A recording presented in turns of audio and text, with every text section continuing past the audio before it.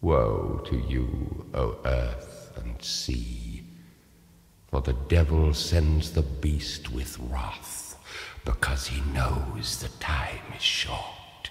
Let him who hath understanding reckon the number of the beast, for it is a human number.